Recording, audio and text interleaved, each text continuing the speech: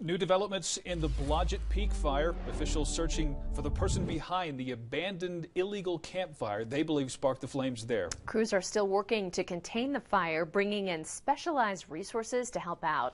KRDO News Channel 13 Spencer Soicher is there now. And Spencer, it looks like the smoke has calmed down from what we were seeing just a few days ago. Yeah, Bart and Heather, and I just got some good news from the U.S. Forest Service. This fire is now 75% contained. It feels like a big tragedy being averted, but for neighbors who live around here, they're not surprised at all at how it started. The weather is cooperating Monday, meaning fire crews can now get a better read on the Blodgett Peak fire and dump buckets on heat signatures.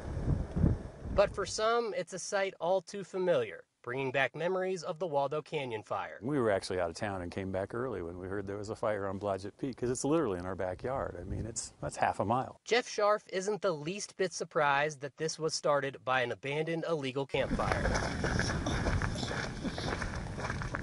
He says there's always been people here after the park closes at 9 p.m. It just attracts a lot of folks, and there's just a lot of shenanigans going on here at night. The Forest Service says neighbors have been telling them all week about people not playing by the rules in this area. Campfires are not permitted in the park, nor are they permitted on the Waldo Canyon Scar.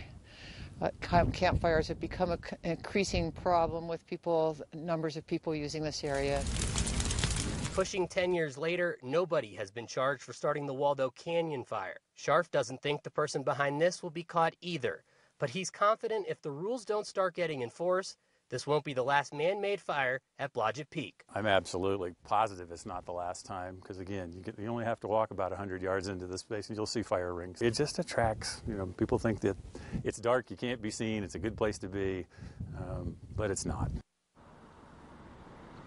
Now, again, that latest update that we just got, this fire is now 75% contained. And again, they're still looking for the person who may be responsible. If you have any information, you're supposed to call the U.S. Forest Service. For now, reporting live at Blodgett Peak, I'm Spencer Soicher for KRDO News Channel 13. All right, Spencer, thanks. And now